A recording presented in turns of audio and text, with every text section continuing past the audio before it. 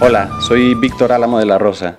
Es hora de empezar a cambiar el mundo y creo que podemos empezar activando nuestra solidaridad con la bonita isla del Hierro. Envíale tu mensaje como hago yo ahora mismo.